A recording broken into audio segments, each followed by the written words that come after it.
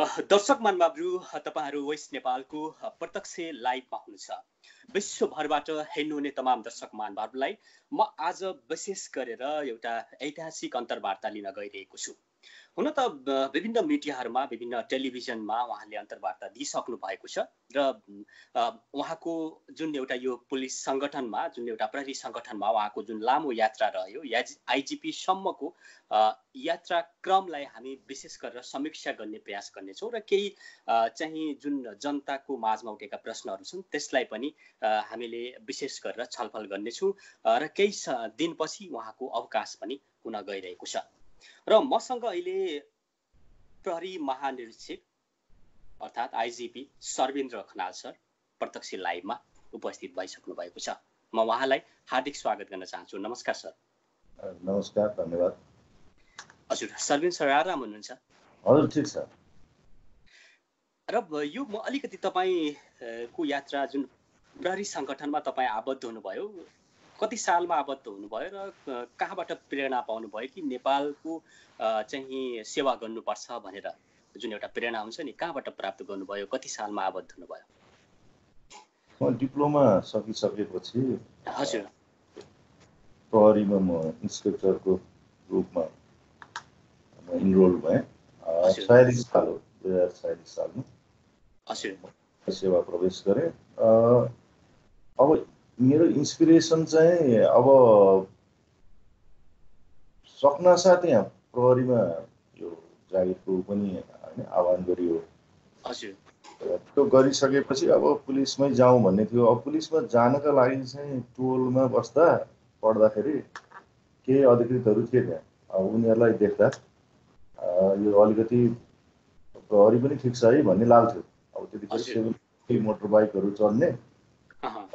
होइन? त्यो अफसर साहबहरू यसो हेर्दाखेरि अब अपराध र अपराधीको दुनियाँमा अलिकति आफ्नो नेचर पनि त्यही खालको तिनीहरूसँग कम्ब्याट गर्ने खालको र समाजमा अलिक न्याय प्रदान गर्न सकिन्छ भन्ने खालको आफूलाई त्यो केही त थियो। त्यसैको आधारमा साथीभाइ सहित मिल्यो। हामी तिनजना थियौँ र अब दिउँ प्रहरी इन्सपेक्टर भन्नुभयो थ्रु भयो त्यसपछि अहिलेसम्म यात्रा तय गरेँ भन्नुपर्छ पुलिस इन्सपेक्टर हुँदा तपाईँको एउटा दोहोरो भिडन्त पनि भयो होइन? र त्यो बेला अस्पतालमा उपचारकै क्रममा चाहिँ एकजना अभियुक्तको पनि मृत्यु भयो। यसलाई अलिकति कसरी हुन पुग्यो? तपाईँ आफैले प्रहार गर्नुभएको कि तपाईँको नेतृत्वमा के? अब जिल्ला प्रहरी जिल्ला प्रहरी कार्यालय पर्सामा काम गर्थेँ। जिल्ला कार्यालय बाह्र वर्ष म वर्ष गएँ भने मलाई खटाइयो। त्यसपछि त्यहाँ एउटा घटना नगर्दा भन्ने कारणले अन द स्पट आठजना मानिसमा गोली प्रहार भयो र उनीहरू त्यहाँ मृत भयो।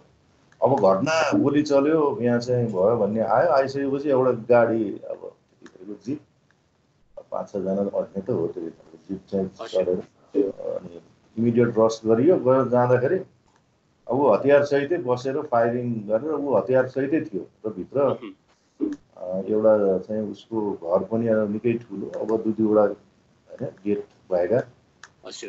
त्यो भित्र चाहिँ अब आफूलाई सेफली राखेको र पर्दाखेरि हतियारबाटै आक्रमण गर्न सक्ने गरेर बसेको अवस्थाहरू। त्यसैमा अब हामी पुगिसकेपछि पनि प्रतिकार गर्ने क्रममा किन नियन्त्रण मात्रै गर्नै पर्थ्यो हतियारसहित थियो। त्यसले गर्दाखेरि त्यो नियन्त्रण गर्ने क्रममा त्यसलाई अब गोली चलाउनु पर्ने बाध्य भएको अवस्थाहरू आयो किनभने त्यहाँ अब आठजना मान्छे त त्यही नै उसले ढालिसकेको थियो। त्यहाँ जग्गाको विवाद थियो तर जग्गाको विवादमा उसले गोली फायर एकदम चाहिँ इन्डिस्क्रिमिनेटली गर्थ्यो यो यो पनि सफल अपरेसन भयो नि होइन? पहिलो जीवनकै जीवनकै पहिलो हजुर जति दुःख जीवनकै पहिलो भन्दा अलिक भन्नुहोस् न अलिकति निकै दर्दनाकै अवस्था थियो त्यहाँको परिस्थिति चाहिँ। जब त्यो त्यो त्यसको पनि नियन्त्रण गर्ने क्रममा उसलाई त्यो अवस्था भयो त्यसपछि सबै मानिस त्यो पीडालाई चाहिँ अलिकति मुक्त भए है। त्यसले गर्दाखेरि न्याय पाए तत्काल भन्ने खालका पनि आए। त्यसले गर्दा अब त्यो घटना त्यसरी नै एउटा पछि चाहिँ सेटल भयो। हजुर। र त्यसपछि सशस्त्र जनयुद्ध दस वर्ष जनयुद्ध त्यो बेला होइन अब अलिकति आक्रमकमै थियो नेपालमा। जनताहरूलाई चाहिँ आफ्नो जिउ ज्यान जोगाउन पनि एकदमै गाह्रो अवस्था र माओवादी जङ्गलमै थियो त्यो बेला। र त्यो बेला पनि शान्ति वार्तामा आएको अवस्थामा जसरी माओवादी शान्ति वार्तामा आयो र उक्त टोलीको सुरक्षा संयोजकको हैसियतमा फिल्डमा खटिनु भयो है तपाईँ। मलाई त्यतिखेर तत्कालीन प्रहरी महानिरीक्षकज्यूले सर्वेन्द्र खट्नुपर्छ यसमा इमिडिएट दुई बजे तिन बजेकोदेखि सुरु हुने भन्ने थियो गोकर्णमा वार्ता। वार्तामा चाहिँ त्यो सरकार र तत्कालीन माओवादीको बिचको चाहिँ वार्तामा त्यहाँ फिल्डको कमान्डरको रूपमा म तोकेँ। त्यही अनुसार त्यहाँको संयोजन गर्ने कामहरू गरेँ सेक्युरिटी प्रदान गर्ने काम गरेँ वार्ताको चाहिँ त्यहाँ माहौल होइन त्यसका लागि गरेँ। र जो जो त्यहाँ उपस्थित हुनुहुन्थ्यो सबैको सुरक्षाको जिम्मेवारीको ममा चाहिँ एउटा कमान्डरको हैसियतमा मैले त्यो भूमिका निर्वाह गरेँ। ओके ओके एसपी तपाईँ एसपी हुँदाखेरि भारतमा धेरै अपराधीहरू लुटेराहरू होइन र विभिन्न क्रियाकलापहरूमा गलत क्रियाकलापमा संलग्न व्यक्तित्वहरू त्यहाँ भागेर जानुभयो। जस्तो अब सुनिल जयसवाललाई तपाईँले पक्राउ पनि गर्नुभयो। तपाईँको नेतृत्वमा हो यो भएको घटना? मेरै नेतृत्व अब मैले यति ओके। र अब अलिकति हामी एसएसपीतिर जाउँ। तपाईँ एसएसपी हुँदाखेरि एकदमै सबैभन्दा अब फुटबलमा फिक्सिङ भयो होइन? र त्यो बेला पनि धेरै फुटबलरहरू पक्राउ परे यो सूचना कसरी तपाईँले प्राप्त गर्नुभयो त भयो? र तपाईँले इमिडिएटली एक्सन लिनुपर्छ भन्ने किसिमको जो एउटा मनोबल तपाईँमा हुन्छ नि तपाईँले आफू सेल्फ डिसिजन लिनुभयो कि या होइन यो फिक्सिङ गर्नेहरूले भोलि भविष्यमा फुटबल जगतमै खेल जगतमै एउटा किसिमको नराम्रो नतिजा ल्याउन सक्छन्। अहिले नै यिनीहरूलाई साइड लाउनुपर्छ भन्ने किसिमको चेतना आयो। के हो? खासमा अहिले यसलाई व्यापक रूपले बताइदिनु न तपाईँ बढी हजुरलाई थाहा छ। एक त अब म पनि फुटबल प्रेमी हजुर ओके फुटबल प्रेमी हुनुहुन्छ। अलिक बढी नै क्रेजी नै हुनु पऱ्यो होइन? अनि फुटबलको पहिलाको स्थिति र पछि बिचमा खसिँदै गएको पनि देखियो। एउटा त्यो किन गइरहेछ भन्ने पनि भयो र कहिले कहिले चल्थ्यो कुराहरू चल्दै जाँदाखेरि यस्तो समेत हुन्छ फिक्सिङ समेत हुन्छ भन्ने पनि आउँथ्यो। र त्यतिखेरै भनौँ न यो चाहिँ नि इएफसीको उसमा त्यहाँ सम्पर्क पनि भयो होइन? त्यहाँ यहाँ अधिकारीहरूसँग एउटा चाहिँ भएर कुरा पनि चलाइयो। उहाँ चलाइसकेपछि अब त्यसलाई अलिकति अगाडि बढाउँ त हाम्रो उसमा यो चाहिँ पहिला देखिन्छ यो बाहिरमा पनि देखिएको छ। अब यहाँ पनि त डिट्रिएट भएको। केही हुन्छ? अलिअलि कहिले कहिले त हल्ला पनि गर्थे होइन? भन्ने। अब त्यो त्यो भित्र पसियो भनौँ न पसिसकेपछि हाम्रै तर्फको प्रहरीबाटै खेल्ने। असै केरको चाहिँ असिस्टेन्ट सब इन्सपेक्टरसँग म प्रवेश गरेँ भित्री रूपमा। खासमा त्यसपछि मैले त्यहाँबाट लिँदै लिँदै लिँदै गएर अनुसन्धान सुरु गरेँ। र अब बाहिरको पनि त्यो ऱ्याडरको सपोर्ट पनि लिनु पऱ्यो किन त्यसको लागि त भोलि इभिडेन्सले पनि दिनुपर्छ। यी सबै कुराहरू भएका हुन् कि होइनन् भनेर प्रमाणित गर्नका लागि पनि त्यो भित्री रूपमा अनुसन्धान प्रारम्भ गरेँ। त्यो गर्दै गएपछि त्यसका इन्भल्भमेन्ट त्यसमा जो जो भएका छन् संलग्नहरूलाई पनि विशेष रूपमा भएकाहरूको चाहिँ आइडेन्टिफाई गरियो। र एकैचोटि एउटै समयमा त्यसरी चाहिँ उनीहरूलाई नियन्त्रण गरी नत्र भने फेरि भाग्ने हुन्छ नि यावत थिए तर च्यालेन्ज थियो। यतिखेरको फुटबलरहरू राम्रोलाई गऱ्यो भन्दाखेरि अब होइन खेल बिग्रन सक्ने पनि त निकै ठुलो चुनौती थियो। हो सामना गरेको हो। किन त्यो सधैँ राखिरहँदा त्यो त सधैँ धमिरहेको जस्तो रहने भयो। होइन फुटबल त सुध्रिनुपर्छ हाम्रो राम्रो छन् खेलाडी भन्ने हामीलाई छ। र कहाँनिर बिग्रिरहेको छ भने त मैले नि आफूलाई एउटा होइन व्यक्तिगत रूपमा नै रियलाइज गरेको विषय हो। त्यो लाग्थ्यो। त्यसले गर्दाखेरि त्यसलाई ठुलै एउटा चाहिँ नि अपरेसनको रूपमा चाहिँ नि अब होइन कन्डक्ट गऱ्यो र मलाई लाग्छ त्यसले एउटा सेप पनि लियो पछि त्यो राष्ट्रिय एकतामा आँच आउने खालको हामी त्यति गर्छौँ खेलाडीप्रति सम्मान हुन्छ हाम्रो। खेलाडीहरू जितेर आउँदा हामी हर्ष विभोर हुन्छौँ यत्र दुनियाँ छ हामी यति पपुलर खेल फेरि नेपालको लागि त अब नेपालीहरू अत्यन्तै ठुलो। होइन त्यो चाहिँ अभिरुचिका साथ हेर्ने खेल हो यो। त्यस कारण त्यसपछिका नतिजाहरू आउँदै गर्दा त्यो जुन अपरेसन चलाएर एउटा शुद्धिकरणको प्र प्रयास भए मलाई लाग्छ त्यसको एउटा ठुलै अंशको रूपमा चाहिँ त्यसले लिन्छ भन्ने मलाई लाग्छ। दर्शक मान्दाहरू तपाईँहरू यो सिधा लाइभ प्रसारण जापानको टोकियोबाट भइरहेको छ हेरिराख्नु भएको छ विश्वभरबाट। हामीसँग आइजिपी सर्वेन्द्र खनाल सर हुनुहुन्छ। हुन त उहाँले जुन यो लामो समय यो बिचको जुन ग्याप छ यो ग्यापमा जति पनि उहाँले अपरेसन गर्नुभयो सफल अपरेसन गर्नुभएको छ म अब अलिकति मोहम्मद मोहम्मद अफताब आलमतिर जान चाहन्छु। अहिले उहाँ जेल मा हुनुहुन्छ नक्खु कारागारमा। कसरी यो अपरेसन सफल भयो? यो पहिलाको भनौँ न सालदेखि नै त्यसको लागि अनुसन्धान गर्नुपर्ने भन्ने त्यहाँ कोर्टको पनि थियो होइन? विषयमा अब आइसकेपछि अब त्यहाँको यसलाई चाहिँ यो अवस्था यो क्रूरतापूर्वक जुन घटना भएको छ यसलाई निकाल्नुपर्छ भन्ने पहिलो त त्यही नै हो। यदि त्यसका लागि एकदम अन्डर करेन्ट भनौँ न भित्री रूपमा पुरै अनुसन्धान सुरु गरेको त्यहाँको स्थानीय एसपी र डिआईसँग त्यतिखेरै समन्वय राखेर त्यसका लागि विशेष गरेर जिल्लाको त्यसलाई गर्दै जाँदाखेरि अब घटनास्थलदेखिको त्यतिखेरको विटनेसदेखिको त्यसपछि अब यो घटनालाई चाहिँ अब यो छोड्नु हुन्न भन्ने पहिलो त त्यही नै हो। पहिलो त के भन्दाखेरि अठोट हो हेर्नुहोस् होइन डिटर्मिन्ड भनौँ कि यो घटनाको विषयमा सत्य तथ्य पत्ता लगाऊ अनुसन्धान गरौँ जे आउँछ त्यसलाई बाहिर ल्याउँ जानुपर्छ भन्ने नै हो पहिलो त्यो भइसकेपछि गर्दै जाँदाखेरिको अवस्थामा अब यी इभिडेन्सहरू कलेक्सन हुँदै गए विटनेसहरू हुँदै गए होइन सबै हुँदै गयौँ। त्यसले गर्दाखेरि अनि जब हामीले चाहिँ अलिक मेच्योर्ड एउटा चाहिँ स्थिति आइसकेपछि अनि त्यसको पक्रापुजी जारी गरेर त्यसपछि नियन्त्रणमा लिएर राजनीतिक दबाब आयो स्वाभाविक रूपले। म रोडमा पनि मान्छेहरूले आवाज उठाए होइन? आलमलाई जोगाउनको लागि एउटा राजनीतिक दबाब त आयो। तपाईँलाई पक्कै पनि आएको हुनुपर्छ। अलिकति यो विषयमा पनि खोलिदिनुहोस् न। कतिको असहज हुँदो रहेछ? यसरी नेतृत्वलाई पक्रिँदा एउटा चाहिँ शक्तिशाली व्यक्तित्वलाई चाहिँ खोरमा हाल्नुभन्दा अगाडि कतिको दबाब आउँछ? आइजिबी साहब तपाईँ जाँदै गर्दा यसको विषयमा पनि अलिकति खोलिदिनुहोस् न। र हाम्रो काम गराएको तरिका के हो भने पहिला सबै लिइसकेपछि मात्र हामी फ्ल्यास गर्छौँ। त्यो काम गर्ने तौर तरिका हो। त्यो कुरा यसमा हामीले लाग्छ। अब यो हुनुभन्दा गर्दैछौँ भनेर त्यहाँ सुन्ने अवस्था भन्दा पनि यो यो घटना घटनाको अगाडि सम्बन्धित भनौँ न सम्बन्धित उसमा त हामीले जानकारी गराएको छौँ होइन? तर अब कहीँबाट प्रेसर आएर यो नगर्ने भन्ने विषय भन्दा पनि यसमा देखिएका तथ्य प्रमाणहरूको आधारमा यो घटनाक्रम अगाडि बढ्छ भन्ने हाम्रो ब्रिफिङ हो। मलाई लाग्छ त्यसको लागि त्यसका लागि कसैले चाल पाउने अवस्था पनि छैन चाल दिने अवस्था पनि भएन किन यो त अनुसन्धान गर्ने कुरा हो। त्यसले गर्दाखेरि सबै भइसकेपछि अनि त्यो अनि बल्ल हामीले कोर्टमा प्रस्तुत गऱ्यौँ होइन? सरकारी समक्ष थ्रु हामीले कोर्टमा प्रस्तुत गरेको हो। त्यसले गर्दाखेरि त्यसपछि चाहिँ जुलुसहरू अब उहरू निस्कन थाले। त्यो त्यो होइन? उसमा। तर हामीलाई चाहिँ यो नगर भन्ने खालको कहीँबाट आउने वातावरण पनि हामीले त्यो दिएनौँ।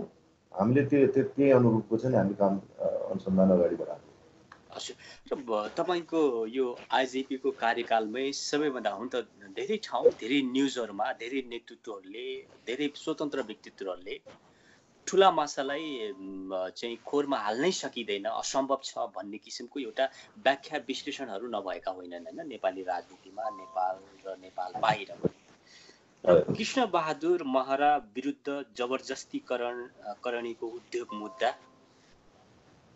लाग्यो र त्यसपछि अहिले जेलमा हुनुहुन्छ उहाँ। कुन जेलमा हुनुहुन्छ? उहाँको अवस्था अहिले कस्तो छ? अलिकति पछिल्लो के छ? के हुँदैछ? त्यो अवस्थाको विषयमा त अब ठिकै होला तर मैले अघि भने कुनै पनि ठुलै माछालाई खोरमा हाले जस्तो लाग्दैन अब म त घटनामा आएकोलाई स्पष्ट साथ जाने मान्छे हो गर्छु नै। त्यसले गर्दा अब अब हो अब ठुलै कालीन सभामुख भनेको तपाईँलाई थाहा छ इन्टरनेसनल न्युज बन्छ बन्यो भने बन्यो भने ठुलो पनि हो। अब घटनामा संलग्नलाई कारवाही गर्ने हो। ओके। मान्छेमा के छ भनेर गएको कहिले पनि होइन। अब जुन घटना आउँछ त्यसको घटनाको सत्य तथ्य पत्ता लगाएर त्यसमा हुने चाहिँ क्रियाकलाप अथवा संलग्न व्यक्तिलाई अभियुक्तलाई कारवाही गर्ने नै हो। अब त्यसमा हामी दृढ हौँ। अब त्यो अनुसार तदनुरूप काम पनि गऱ्यौँ मलाई लाग्छ त्यही नै हो। किनभने घटना जे थियो त्यो घटनाकोमा मा हामी प्रवेश गरेर घटनासँगै नै अनुसन्धान गरेर त्यसलाई इस्ट्याब्लिस स्थापित गर्ने काम हाम्रो हो। अनुसन्धान गरेर पठाउने। अब त्यसमा अहिले जुन लागि जानुभएको पठाएको छ होइन कोर्टबाट अहिलेको अवस्था त्यही नै ओके र दर्शक मानबाबु वेस्ट नेपालको प्रत्यक्ष लाइभमा हुनुहुन्छ। र हामीसँग सर्वेन्द्र खनासर हुनुहुन्छ आइजिपी सर्वेन्द्र खनासर धेरै प्रश्नहरू छन्।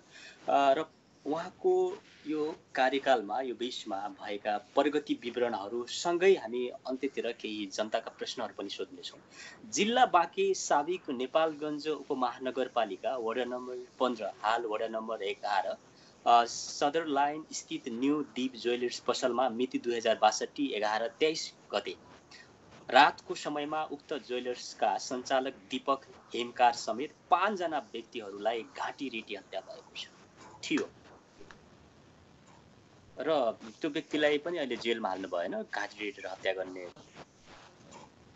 अब हामीले यो निरन्तर पनि हो प्रहरी सङ्गठनले विगत गरेको हो। अब अहिले पनि के भन्दा म प्रहरी महानिरीक्षक भइसकेपछि पनि त्यस्ता फलोअप गर्नुपर्ने केसेसहरूमा सबै ठाउँमा हामीले परिपत्र गरिरहेको हुन्छौँ। विशेष गरेर त्यो त्यो गम्भीर खालका प्रकृतिका जुन चाहिँ अपराधहरू छन् त्यसको विषयमा फलोअप गर्छौँ।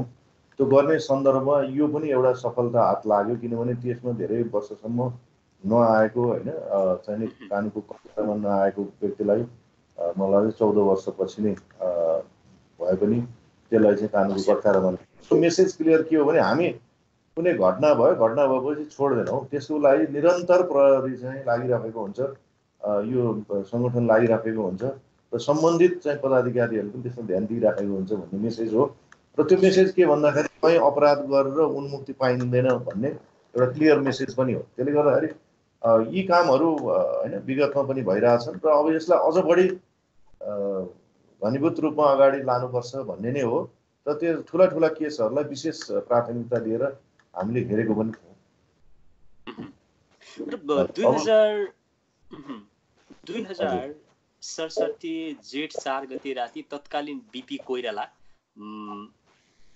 क्यान्सर अस्पताल भरतपुरका निर्देशक डाक्टर भक्तमान श्रेष्ठलाई अपहरण गरी काठमाडौँ र नुवाकोटको विभिन्न ठाउँमा बन्धक बनाइयो होइन? यो विषय यो अपरेसन चाहिँ कति लामो समय चल्यो? अलिअलि ढिलो भयो होइन? नतिजा आउन? केसको रूपमा निकै नै चर्चित रह्यो त्यो केस पनि। चर्चित थियो यो केस किनभने हाम्रो नेपालमा कस्तो छ भने एउटा केस आउने बित्तिकै अर्को केस आउँछ त्यसले ओभरल्यापिङ गरिदिने छायामा पर्ने हुन्छ। तर हामी चाहन्छौँ ओभरअल तपाईँको कार्यकालमा तपाईँको यो जुन एउटा सामान्य पुलिसदेखि लिएर अहिले आइजिपीसम्मको बिचको अवधिमा भएका होइन? र विशेष त अहिले हामी प्रहरी महानिर्देशक हुँदै गर्दाको बिचमा पनि धेरै कामहरू भए। त्यसलाई पनि अलिकति हामीले कोट्याउनु पर्ने हुन्छ। यसको विषयमा बताइदिनु न। अब तपाईँलाई भने मेरो अनुभवमा पनि प्रहरीमा रहिरहँदा विशेष गरेर अनुसन्धानको जिम्मेवारी पाएको अवस्थामा अझ बढी केन्द्रित भएर यस्ता खालका हाई प्रोफाइल केसेसहरूमा म आफै पनि लागेको हुँ विगत। ठुला ठुला केसेसहरूको अनुसन्धान गरेर त्यसको होइन पर्दाफास गर्ने कामहरू पनि गरेँ अनुसन्धान मेरो आफ्नो व्यक्तिगत त्यो रुचि त्यो त्यो छँदैछ। त अब त्यो चाहिँ साङ्गठनिक दृष्टिकोणमै पर्ने विषयवस्तु पनि हुन् त्यसको प्राथमिकतामा पर्नुपर्छ। यहाँले भनेको जस्तो केही घटना हुने अनि त्यसलाई ओजेलमा छोड्ने अनि अथवा अरूको पालामा भयो यसमा किन गर्ने भन्ने विषयवस्तुहरू त्यसले चाहिँ ठाउँ पाउनुहुन्न। अब यो स्पष्ट हुनुपर्छ र अब यो त सबै संस्थाको अथवा हाम्रो सङ्गठनको काम हो त्यो। किनभने नेपाल प्रहरी जिम्मेवारीभित्र हो। यो त संस्था जीवन्त हुन्छ नि। कोही आउला अनि प्रहरी मान्छे एउटा आउला अर्को जाला अर्को आउला अर्को आउला सधैँ बस्ने पनि होइन।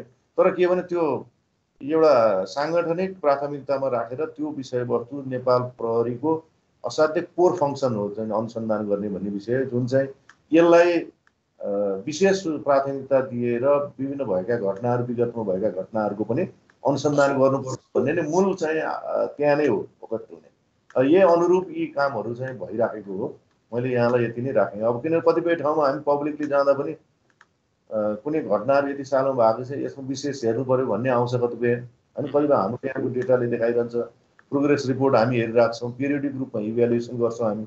त्यो इभ्यालुएट गर्दाखेरि कुन कुन घटनाहरू अझै पनि पेन्डिङ छन् अझै छन् भन्ने आइसकेपछि त्यसलाई त्यो तदारुकता साथ अनुसन्धान गर्ने नै त्यसको चाहिँ सबैभन्दा ठुलो भनौँ न प्रभावकारी रूप भनेको फलोअप नै हो।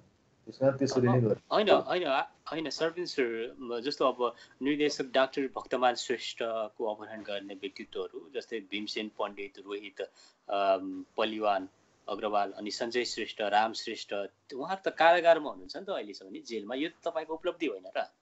होइन उपलब्धि थियो त। उपलब्धि छ। कतिपय अहिलेसम्म घटनामा हामीले थाहा पाएसम्मकोमा त्यसरी उपलब्धि भएको छ। मैले यति तपाईँलाई भन्नुपर्छ होइन हामी कुनै पनि घटनामा हेर्दाखेरि मेजर घटनाहरूमा हामी सबै ठाउँमा सम्बन्धित चाहिँ युनिटहरूलाई विशेष सजग गराएर र यहाँको हाम्रा जति पनि संयन्त्र छ नि यो चाहिँ अनुसन्धानमा संलग्न त्यो सबैलाई एक्टिभेट गर्छौँ र विशेष गरेर एउटा टास्किङ पनि गर्छौँ। र यसमा यो घटनामै जाने। यो टिमलाई कतिपय ठाउँमा टिमहरू परिचालित हुन्छन् त्यो सम्बन्धित युनिटका होइन। त्यो गरेर जाँदाखेरि उपलब्धिहरू हुन्छ उपलब्धिहरू भएको छन्। मेरो अनुभवले त्यही देखाउँछ। मेन कुरो सिरियसनेस हो। र त्यसमा तपाईँको सङ्कल्प हो क्या एउटा किन गर्नुपर्छ भन्ने। किन अपराधी बाहिर छोडिराख्यो भने त अपराध आइरहेको छ होइन? र त्यसको एउटा सही सम्प्रेषण मेसेज पनि जाने त्यस कारण यसमा नै लाग्ने हो मलाई लाग्छ। त्यो डेडिकेसनका साथ लाग्नु चाहिँ लागेपछि रिजल्ट आउँछ भन्ने मेरो मान्यता पनि हो। दर्शक महानुभावहरू यस नेपालको प्रत्यक्ष लाइभमा हुनुहुन्छ र एउटा अर्को घटना घट्यो। दुई हजार पचहत्तर साल पाँच महिना तिन गते रातिको घटना हो यो। गम्भीर घटना र यसले नेपालमै ततायो एउटा माहौल ततायो। यो घटना किन घट्यो कसले घटायो भनेर? पर्यटन सङ्गठनलाई पनि एउटा हम्मे हम्मे परेको थियो। पूर्व राजदूत केशव झाको हत्या अनुसन्धान। अन्तिममा आएर कान्छा तामाङ अहिले जेलमा हुनुहुन्छ होइन हत्या गर्ने व्यक्तित्व। यो तपाईँको नेतृत्वमा भएको हो। अब हाम्रो यहाँको अपराध महाशाखासहित मैले त्यस बिचमा विशेष रूपमा चासोका साथ म आफै पनि आफै पनि त्यहाँ बसेकाहरूसँग इन्टरभ्यू लिएको। मैले आफूले पनि हेरेँ प्रहरी महानिर्देशकले यो विषयवस्तुलाई अझ राम्रोसँग हेर्नु भनेर चिन्ता हुन्छ एकदमै हुन्छ किनभने त्यहाँ भइरहेको अनुसन्धानको प्रकृति त्यहाँ गरिरहेको तौर तरिका त्यस विषयमा निर्देशन हुन्छ मोनिटरिङ हुन्छ र यो यो क्रममा पनि एउटा चाहिँ जुन हाई प्रोफाइलको केसमा राखिरहने थियो त्यो रिजल्भ भयो होइन रिजल्भ त्यही नै कान्छ तामाङ त्यही काम गर्ने उसमै रहेका मान्छे नै पऱ्यो किनभने सबै एक्सेसहरूकोदेखि लिएर ऊ माथिको पहिलाका गतिविधिदेखि लिएर सबै कुराहरूले गर्दाखेरि जुन इभिडेन्सले होइन सबैले चाहिँ त्यो ऊ ऊ नै हो भन्ने कुरा आएपछि अभियुक्त करार भयो। अब के हो भने सबैले यसमा लागिरहनुपर्छ र विभिन्न दृष्टिकोणबाट भनौँ न अनुसन्धान भनेको त अब केही समय लिनै सक्छ कतिपय उहरू गर्दै जानु त्यो सफल रूपमा चाहिँ नै यो लिन सकिन्छ जुन यहीँ एउटा कृषक झाको जुन हत्याको विषयलाई पनि जुन एउटा सफल परिणाम आयो। मलाई लाग्छ यो के हो भने प्रहरीभित्रको अफिसरहरू अथवा चाहिँ हाम्रा त्यहाँ युनिटमा दर्ज भएका अफिसरहरू एउटा चाहिँ लगनशील छन् होइन? त्यो काममा प्रति एउटा चाहिँ निरन्तर लागिरहन्छन् र त्यसप्रतिको संवेदनशीलताका साथ त्यो हेर्छन् भन्ने कुरा पनि हो। यसमा त्यस कारण सम्बद्ध सबै अनुसन्धान अधिकृतहरू होइन? को लगन त्यसप्रतिको निष्ठा र अब र भनौँ न सङ्गठन प्रमुखले पनि दिनुपर्ने हुन्छ। कतिपय कुराहरू फेसिलिटेट गर्नुपर्ने कतिपय कुरामा सजेसन दिनुपर्ने कतिपय कुरामा निर्देशित गर्नुपर्ने कतिपयमा आफूले जानेको अनुभवहरू पनि अब जस्तो मैले आज जुन अनुसन्धानमा गर्दाखेरिको अनुभवहरू त्यसलाई सेयर गर्ने यी विषय भएका छन्। त्यो गर्दा एउटा सफल एउटा परिणाम भयो। उन्नाइस वर्षपछि अमेरिकाबाट एकजना अभियुक्त पक्राउ परे होइन? र यो मिति दुई हजार दर्शक मान्दाहरू मिति दुई हजार सन्ताउन्न छ महिना उन्नाइस उन्नाइस गतिको यो घटना हो आठ बजे। सीताराम बस्नेतले सन्ध्या राजवंशीलाई घरबाट बोलाएर बोलाएर लगेको र अन्य प्रतिवादी लीलाराज गौतम र मनोज खड्का समेत भई निजलाई करणी गरी निजको घाँटी थिसी हत्या गरेपछि रुखमा पासो लगाई झुन्ड्याएर भागेको। त्यसपछि अमेरिका भाग भाग्नु भएछ होइन? उन्नाइस वर्षपछि त्योभन्दा अगाडि पनि आइजिपी हुनुहुन्थ्यो त्यो अगाडि पनि अन्य व्यक्तित्व हुनुहुन्थ्यो। तर तपाईँ केही कार्यकालमा कसरी तपाईँ अमेरिका बस्या भएर हो? अलिकति बढी एउटा के चाहिँ छ भने हजुर। अब अब मैले अरूलाई कसैलाई होइन ब्लेम गर्न चाहन्न प्रयासहरू हुन्। सङ्गठन एउटा चाहिँ उसमा निरन्तर चल्ने पनि हो। अब को इन्सिडेन्ट भनौँ भन्नु भन्दा पनि म चाहिँ के कुनै पनि काम लागिसकेपछि चाहिँ अलिक सम्भव गर्न सकिन्छ समयको मात्र हो भने म चाहिँ त्यो छु हेर्नुहोस्। मेरो स्पष्ट अब हो हामीले अमेरिकाबाट ल्याउनु नै बहुत ठुलो चाहिँ नि त्यो त्यो होइन ठुलो काम हो। मलाई अहिले सम्झिन्छ त्यहाँबाट डिपोर्ट गरेर यहाँ ल्याउनु चाहिँ। तर के भने प्रयास त हुनु पऱ्यो नि त। त्यो सार्थकतामा हाम्रो परिणत गऱ्यौँ होइन? प्रयास गऱ्यौँ त्यहाँ भएको क्रिमिनलहरू त क्रिमिनल त सबैको लागि क्रिमिनल हो नि त जुन देशमा भयो नि होइन? प्रोफेसनल इन्स्टिट्युट छ। प्रहरीले हेर्ने दृष्टिकोण त अपराधप्रति त एउटै समान हुनु पऱ्यो नि हरेक। हरेकको चाहिँ त्यो इन्स्टिट्युसनको त त्यही हुनुपर्छ भन्ने लाग्छ। त्यसले गर्दाखेरि यहाँ पुरा यहाँ गएर अपराध गरेर फरार भएकोहरूमा त एउटा इन्स्टिट्युसनल इन्स्टिङ भनौँ न प्रोफेसनल इन्स्टिङले त्यो साथ दिनुपर्छ भन्ने हामीले पनि कुरा राख्यौँ। राखिसकेपछि सहयोग पनि प्राप्त भयो। त्यसले गर्दाखेरि त्यसलाई कानुनको कटघरामा ल्याउनु पनि हामीले सक्यौँ। र मलाई लाग्छ कुनै पनि प्रयास गर्न चाहिँ ओके।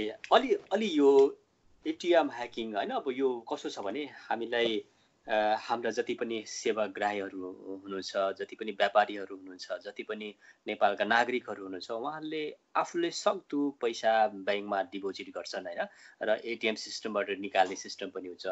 र यहाँ विभिन्न गिरोहहरू पनि लागेको छ है भन्ने किसिमको एउटा ठुलै गिरोह लागेको छ है। यो पछाडि तपाईँहरूको पैसा सुरक्षित छैन ब्याङ्कमा भन्ने किसिमको सन्देश पनि गयो र प्लस यस्तो कुरामा तपाईँले एउटा किसिमको बाहिर ल्याइदिनु भयो कि? र म यो यो योलाई पनि कोट्याउन चाहन्छु। जस्तो मिति दुई हजार छयत्तर पाँच महिना चौध गते काठमाडौँ दरबार मार्गबाट बैङ्क एटिएम ठगीमा संलग्न पाँचजना चाइनिज नागरिकलाई रु एक करोड छब्बिस लाख उन्नाइस हजार पैँचालिस रुपियाँ र नौ हजार एक सय आठ डलरसहित अन्य विभिन्न देशका मुद्रा तथा मोबाइल फोन बरामद गरी नियन्त्रणमा लिनुभयो। र यो यो चाहिँ कसरी तपाईँले सूचना पाउनुभयो? या तपाईँले निर्देशन दिनुभयो कि या तपाईँले कसरी पाउनुभयो? यो विषयमा अलिकति खोलिदिन्न। यसमा जुन त्यो सस्पिसियस एक्टिभिटिज भइरहेको भन्ने देखेपछि हजुर। एउटा टेलिफोन आयो गयो महानगरीयमा है? हामीले चाहिँ भनौँ न आयुक्तको कार्यालय भन्छौँ महानगरीय प्रहरी कार्यालय त्यसमा चाहिँ यो समुदाय प्रहरी साझेदारीको कार्यक्रममा उहाँले केही अपराधको शङ्का लागेमा त्यस्तो सूचना दिनु परेमा सङ्केत गति त्यो विषयमा चाहिँ यो नम्बरमा टेलिफोन गरेर हुन्छ भन्ने उहाँले त्यो कार्यक्रममा पाउनु भएको रहेछ। टेलिफोन जान साथ इमिडिएट इन्टरभेन्सन गर्न सकिने भयो। प्रहरीलाई पनि अब गतिविधिहरू त्यस्तो भएको भन्ने खबर आयो भनौँ कतिपय खबर हाम्रो आफ्नै गइरहेको हुन्छ प्रहरीकै संयन्त्रले बनाइरहेको हुन्छ। हरेक ठाउँ इन्टेलिजेन्सहरू डेभलप गर्ने कामहरू पठाइरहेको हुन्छ त्यसको लिमिटेड कतिपय अब नागरिकबाट पनि खबरहरू आइरहेको हुन्छ नानीलाई।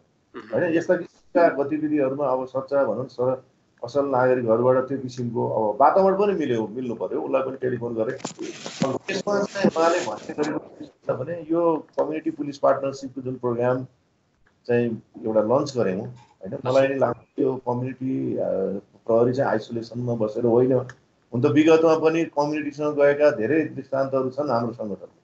तर यसलाई चाहिँ के भन्दा असाध्यै यसलाई इन्टेन्सिफाई गरियो हामीले र हरेक ठाउँ ठाउँमा प्रहरीलाई सूचना सूचित गर्नका लागि अब हन्ड्रेड भयो विषयमा हन्ड्रेड थ्री भयो ट्राफिकको विषयमा हन्ड्रेड फोर बालबालिका हराएकोमा वान वान सेभेन सेभेन भन्ने छ त्यो चाहिँ यो यो मानव बेचबिखनको चाहिँ शङ्का लागेको विषय र अन्य हिंसाको विषयमा गर्नु परेमा भनेर यो चाहिँ हामी सम्प्रेषित गरियो हरेक कम्युनिटीमा तपाईँको चाहिँ होइन स्कुल कलेज समुदायमा गएर भन्यो र यसले एउटा के दिएको छ? भन्दाखेरि केही खबर परेमा जस्तो अहिले महानगरी प्रहरी कार्यालयमा ट्वेन्टी फोर आवर्समा पन्ध्र सय कल आउँथ्यो ट्वेन्टी फोर आवर्समा भने अब अहिले त्यो बढेर तपाईँको चाहिँ पच्चिस सय भएको छ।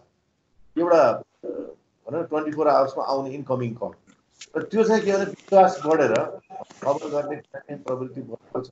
जसले गर्दा काहीँ अपराधिक सूचनाहरू गलत गतिविधिहरू त्यस्ता पनि चाहिँ प्रहरीमा आउने गर्छन् र त्यसलाई डिटर गर्न सकिन्छ भनौँ न त्यसलाई नियन्त्रण गर्न अलिकति त्यसले सहज पनि यो सँगै कृषि विकास बैङ्कको कुरा पनि उठाउन। भारतबाटै ह्याक गर्ने भारतबाटै करोडौँ रुपियाँ त्यो यसलाई पनि यसैसँग जोडाउँछ। अब यो छ हाम्रा जस्तो भनौँ न केन्द्रीय अनुसन्धान ब्युरो छ अपराध महाशाखा छ लागि नै रहेको हुन्छ। कुनै पनि घटनाको विषयमा दुईवटा युनिटहरू विशेष गरेर र अन्य परिसरहरू पनि लागेका हुन्छ। तर अब विशेष जुन रूपमा विशिष्टीकृत ब्युरोहरू छन् त्यो ब्युरोको काममा चाहिँ अब यस्ता किसिमका हाई प्रोफाइल केसेसहरू उनीहरूको परेको हुन्छ र उनीहरूले हेरि पनि रहेको हुन्छ र त्यसैको चाहिँ यो प्रतिफल हो। ओके सिरिया नागरिक धेरै नागरिकहरूलाई पनि पक्रिनु भयो। यो काण्डले पनि एउटा किसिमको विश्व बजारमा तहल्कै मचायो होइन? निजरले टुरिस्ट भिजामा नेपालमा लुकिसिपी रही साइबर अपराध र अन्तर्देशीय अपराधमा संलग्न रहेको सूचनाको आधारमा निजहरूलाई सात सय सात सय सडचालिस स्थान मोबाइल त्यसै गरी तिन सय एकतिस थान ल्यापटप र अन्ठानब्बे थान सिपियु त्यसै गरी उनान्सय थान मोनिटर बाइस थान पेन ड्राइभर अनि त्यसै गरी तिन सय सत्ताइस थान सिम कार्ड लगायत बरामद गर्नुभयो होइन? तपाईँहरूले धेरै र उहाँहरू नेपालमा बसेको भए अझै यो सूचना तपाईँले नपाएको भए निरन्तर त्यो गतिविधिमा उहाँ संलग्न हुन दिनुभएको भए के हुन्थ्यो आजीव शाह क्लियर पारिदिनु न। यो त भनौँ त्यो त्यो उनीहरूको इन्भल्भमेन्ट के के गर्न सक्थे? त्यो त्यो अनलाइनमा त्यो जुन साइबर क्राइम हिसाबले त उनीहरूले होइन अनलाइन जुन ट्रान्जेक्सनहरू त्यो ह्याकिङ गर्ने त निकै ठुलो यो त गिरो पक्राउ भयो। त्यसमा चाहिँ अब चाइनिज चाइनाकै उसमा बढी चाहिँ केन्द्रित भएर त्यहीँको होइन घटाउने कामहरू गरिरहेको भेटियो। अथवा अब तिनै मान्छे हाम्रै नेपालकै सन्दर्भमा लागेर यहीँको उसमा चाहिँ नि ह्याकिङ गर्न थालेको अनलाइन उसमा भएको भए त्यो अवस्था अर्को बिग्रालो हुन्थ्यो। तर भए तापनि के भन्दाखेरि एउटा स्पष्ट चाहिँ के सन्देश हो भने नेपालमा आएर कुनै पनि छिमेकी मुलुकको अगेन्स्टमा गतिविधि गर्न पनि यहाँ छुट हुनु दिँदैन।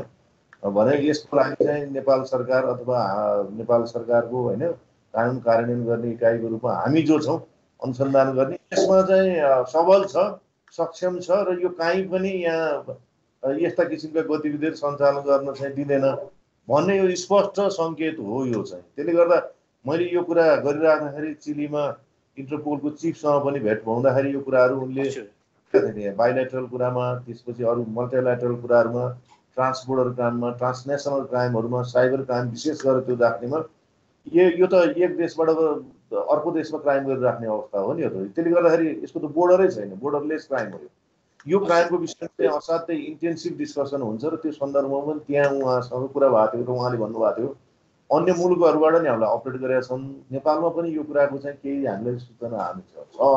हाम्रा नागरिकको विषय भन्ने पनि भएको थियो र हामीले त्यो जुन सूचना डेभलप गऱ्यौँ यहाँ नेपाल प्रहरीको होइन सम्बन्धित युनिटहरूबाट जुन सूचना डेभलप गरिसकेपछि अनि उनीहरूले दिएको आधार र पछि हामीले जुन सङ्ख्याको रूपमा हामीले हेर्दै गयौँ स्टडी गर्दै गएपछि यो बृहत रूपमा हामीले एउटा यसलाई नियन्त्रण गर्न पनि सक्यौँ। यसका लागि के भन्दा सूचनाको समन्वय सँगसँगै अपरेसनमा हामीले गरेको जुन एउटा सफल अपरेसन सहित ठुलो मात्राको चाहिँ भनौँ न ठुलो सङ्ख्या यसरी पक्राउ परेर एउटा इमिग्रेसन ल एट्र्याक्ट गरेर डिपोर्टेसन कामहरू भएको छ र यसले गर्दा अत्यन्त ठुलो अत्यन्त राम्रो मेसेज चाहिँ गएको छ अझ विशेष रूपमा द्विपक्षीय हाम्रो चाहिँ होइन सम्बन्धको विषयमा र एउटा प्रोफेसनलिजम नेपाल प्रहरीको प्रोफेसनलिजमको विषयमा अत्यन्त ठुलो चाहिँ तपाईँको होइन प्रशंसा पनि पाएको छ त्यो रिटर्न रूपमा नि आएको छ भर्बलले नि आएको छ।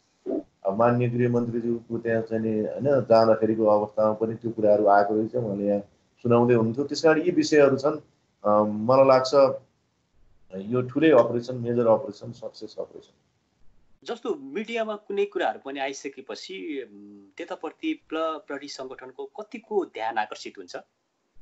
ठगीका केसहरू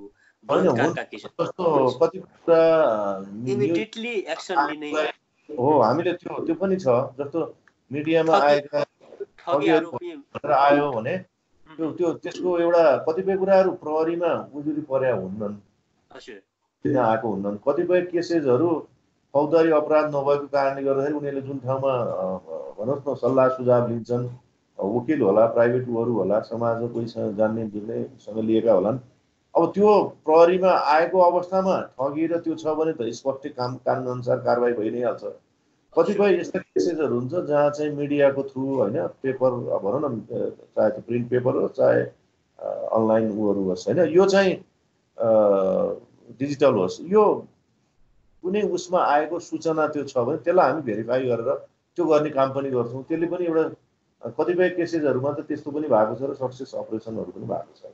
जस्तो जस्तो जस्तो आइजिपी साहब होइन न्युज ट्वेन्टी फोरबाट सिधा कुरा जनतासँग रवि दाईले धेरै यस्ता स्ट्रिङ अपरेसनहरू पनि गर्नु छ। यो सरलाई हामी यो सरलाईकै कुरा गरौँ श्याम परदेशीको कुरा।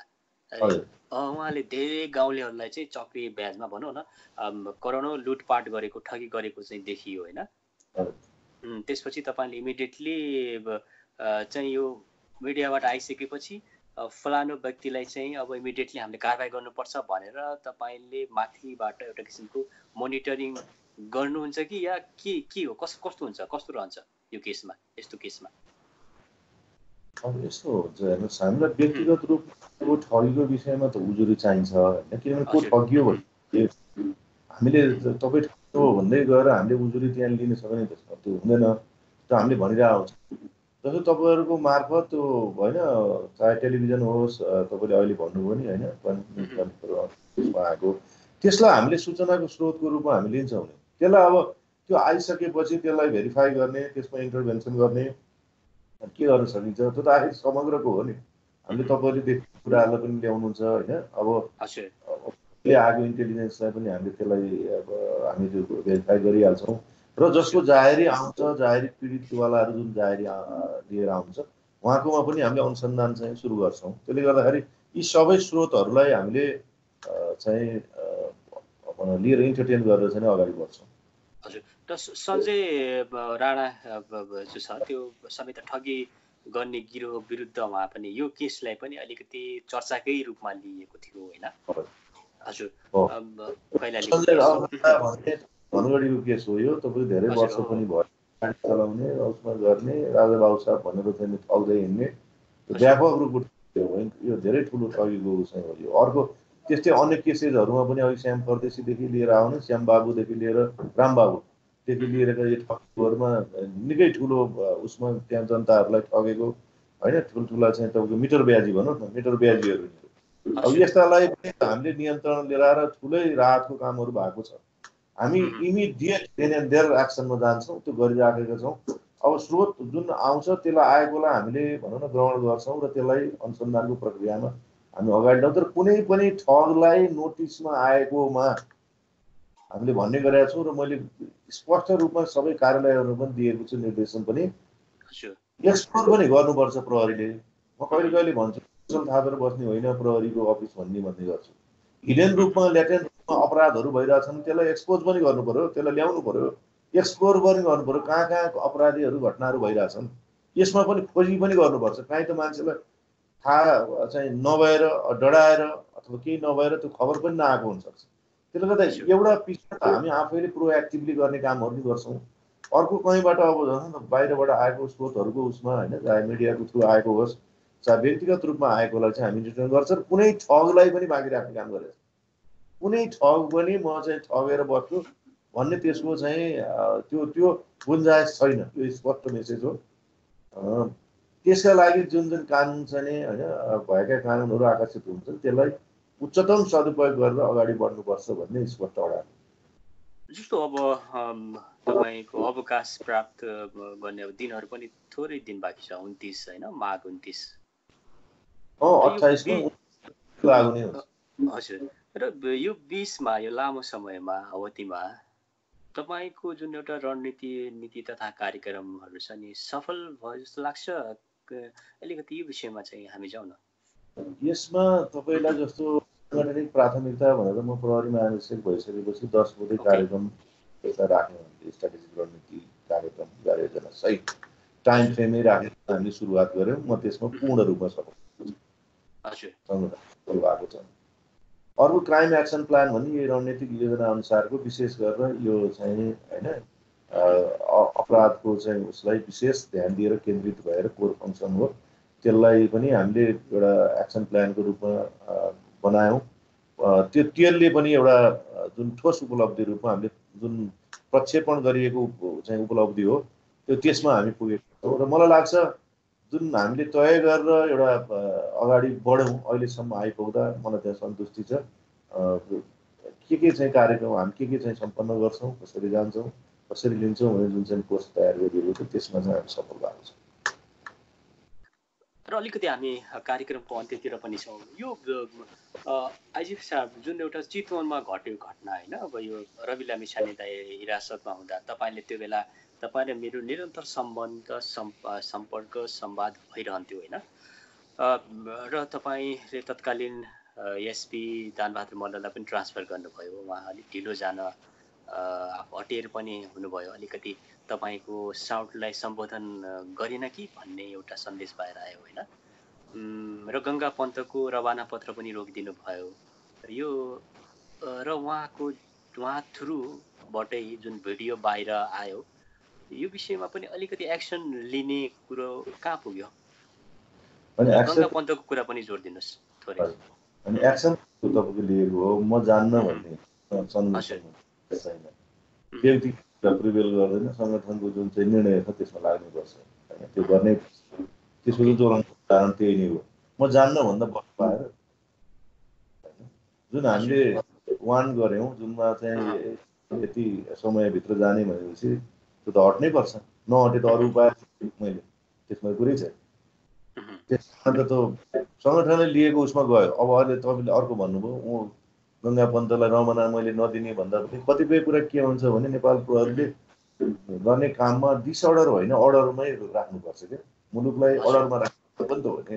कुनै पनि त्यहाँ तपाईँको भिभिआइपी अथवा भिआइपीको हुन्छ भने यदि त्यो कारण होइन? अथवा असुरक्षित नै त्यस्तो खालको आउँछ भने त त्यसो सोध्ने जिम्मा त त्यो त मेरो पनि त हो नि। मैले असुरक्षितै वातावरण बनाउनु त होइन। अब एउटा कुरा सोध्नुपर्छ भने तर तिनलाई काम गर्ने अवसर त त्योभन्दा अझ राम्रो अवसरमा त वीरगञ्ज पोस्टिङ भएको छ होइन? काम गर्ने मेन कुरो के हो भने सङ्गठनको प्रमुख मैले भइसकेपछि कतिपय म्यानेजरियल कामहरू हुन्छन् जुन ठाउँमा सोसाइटीमा अर्डर मेन्टेन गर्ने हो। सोसाइटीमा ल एन्ड अर्डर मेन्टेन गर्ने भनेको त त्यहाँ त अब आफैले नै फेरि डिसअर्डर ल्याउने त होइन। त्यहीँ भित्रको चाहिँ भनौँ न होइन। त्यसले गर्दा मूलभूत रूपमा शान्ति सुरक्षा अमन चयन कायम राख्ने अपराध नियन्त्रण गर्न नै प्रभावकारी बनाउनुपर्छ त्यो कसरी प्रभावकारी बन्छ भन्ने कुरा म सङ्गठन प्रमुखले त्यसलाई हेरेर राइट डिसिजन गर्नुपर्छ मैले त्यो गरेँ लाग्छ र त्यो भिडियोको विषयमा चाहिँ अलिकति उहाँलाई जस्तो मल्लबाट गल्ती भएको छ होइन त्यो बाहिर आयो। यो तपाईँ सङ्गठन प्रमुख पनि हो पावरमा हुनु छ अझै पनि कि कहाँ पुग्यो कार्य? यो न्युज ट्वेन्टी फोरबाट पनि आयो रवि दाईले होइन? यो विषयमा पनि प्रश्न सोध्नु भएको छ हजुरलाई।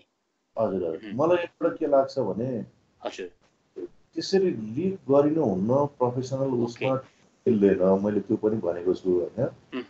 अब त्यहाँ के भने उहाँको भनाइ र उसको आउँदाखेरि चाहिँ अर्को मान्छेले व्यक्ति लिक गरे भन्ने कुरो त्यहाँ उनकोबाट अभिव्यक्ति आयो होइन? त्यसलाई गएर कसले गर्यो भन्दा पनि त्यसको उसमा लिक गरिसकेपछि एक थरी भइरहेको सोच चाहिँ अर्को सोचमा आयो। अब त्यो कति गर्न हुने नहुने विषय एउटा रह्यो तपाईँले अहिले मलाई भन्यो नि। तपाईँले अब गर्न हुन्न भन्ने हो होइन? अब यसका लागि कमसेकम त्यहाँबाट उसलाई स्थानान्तरण पनि अनि विभिन्न किसिमले विभिन्न कारणले पनि भएको पनि छ होइन? त्यसले गर्दा हाम्रो भनाइ के हो भने व्यावसायिक हुनुपर्छ। व्यावसायिकमै आफूले चाहिँ त्यसमा होइन त्यो चाहिँ अडान राखेर अगाडि बढ्नुपर्छ। घटनाक्रमहरू यस्तो पनि छ अलिकति तपाईँलाई यहाँ भन्नुपर्दा धेरै विषयवस्तुहरू हामीले पनि गर्न नहुनेहरू सबै पक्षबाट भइरहेको पनि देख्छु क्या म।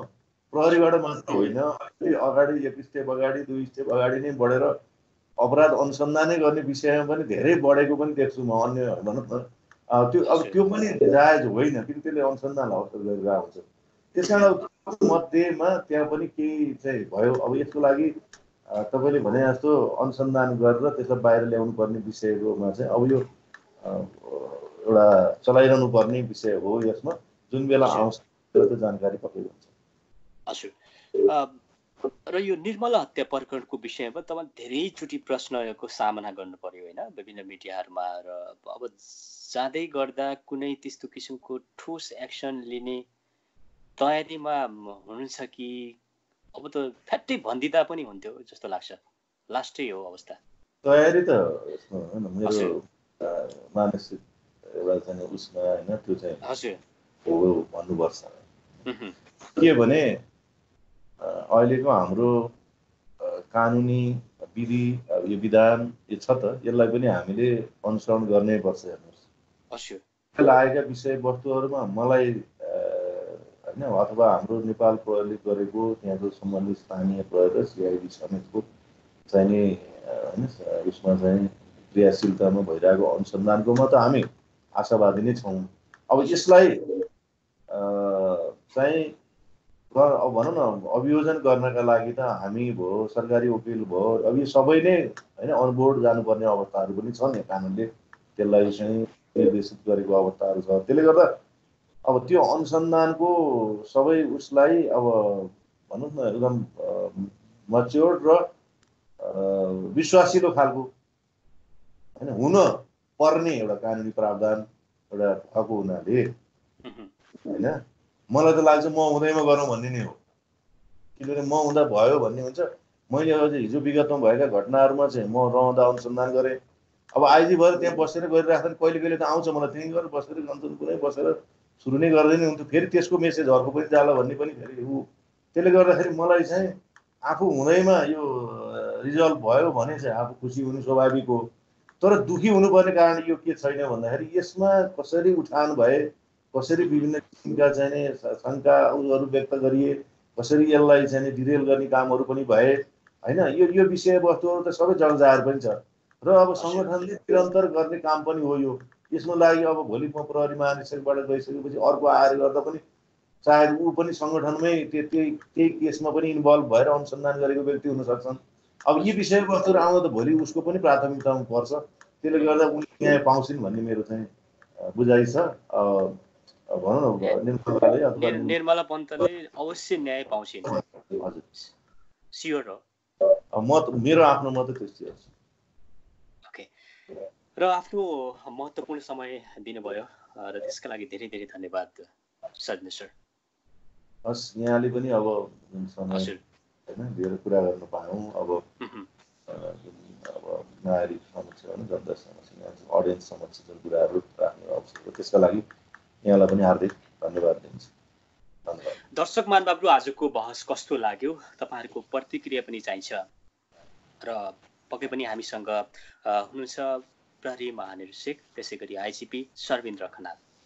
र तपाईँहरूको प्रतिक्रियाका लागि तपाईँहरूले west Nepal at the rate Gmail dot com र HP Tamrakar dot west Nepal at the rate Gmail dot कममा पठाउन नबिर्सिनुहोला। वेस्ट नेपालको केन्द्रीय कार्यालय क्यालिफोर्निया र हाम्रो दोस्रो केन्द्रीय कार्यालय अनामनगर काठमाडौँ। आवाजविहीनहरूको आवाज भनेर हामी प्रस्तुत हुनेछौँ। र म एचपी ताम्राकार त्यसै गरी आइजिपी सर्विन्द्र खनाल सर दुवैजना बिदा चाहन्छु। नमस्कार।